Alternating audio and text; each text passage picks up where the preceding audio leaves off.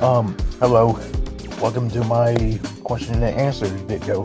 And today I'm gonna read I'm gonna be reviewing some questions that y'all put in the comments.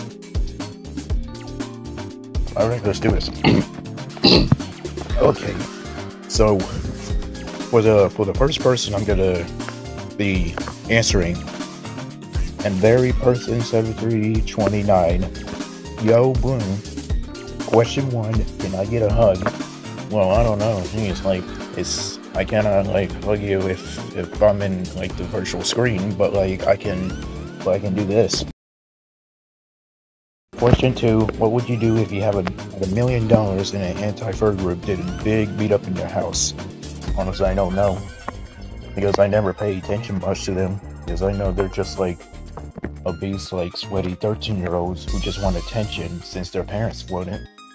Oh, and on top of that, like, can you like realize that the flag itself is the anti-furry flag? It looks awfully similar to that one flag, uh, that one flag that they used in 1940s, which I'm not gonna mention it. But when I see it, it looks awfully similar to that flag because the color schemes and everything. It's obviously it's a neo-Nazi thing, and uh, if they do, like, if I'm in a situation they do, I'm just gonna get it. I'm just gonna, like, blow them up with a legalized bombs. And next person, artificial duck. I was to go on YouTube this this one vid. Uh, honestly, it's been alright.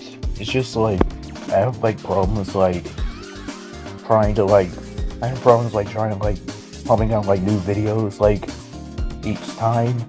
Because like one low motivation is the problem.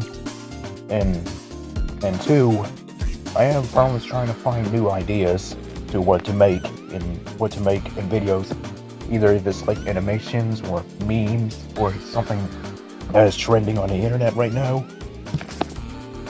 Oh and honestly I don't really have like a favorite country or something. Because like I'm literally American, so I have no opinion on that. But like, if I do, I would say UK because like, it's pretty good. Like, I really like the like the landscape out there. It's just so beautiful to me. Even even the like, even the even London, the place in London looks so fascinating to me from my eyes. All right, and uh, number three for the person R, R, R Squad 6693. Why you choose blue to be the color of your persona? Um, honestly, I, I just like the color blue, to be honest. There's there's nothing, there's no debate about it. I just like the color, that's all. That's why my character is obviously named after a color. No, no, no hick. There, there's no misses on this. And now for the final, for the final person, Vault Hyena, who's your biggest inspiration? Well, I have like many inspirations that I have, that I have like been like, I have been looking up to. Like, first of all, Markiplier, because like, he inspired me to like making YouTube videos. And for like animations, SrPelo, which he which y'all know that he's like the biggest like he's like one of the he was he's like one of the most beloved like animators. And for and for the final where I do when I draw art as you can see my art style has been changed. Is Phantom Arcade. Something about him is just like something about it I just feels like it just I just feel relatable relatable to him since like he's not just some like Friday Funkin' like artist something where everybody just like go crazy for. I also looked up. I also like watch his his streams and it looks honestly pretty pretty good, pretty legit.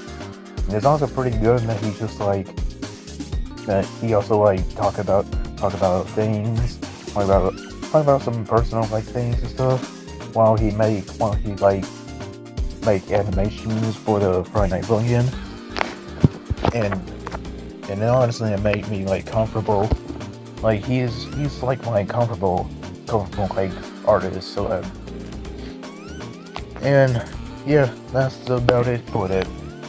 And in case if you in case if you want to ask more questions, leave them in the comment, and I might as well make a part two of this.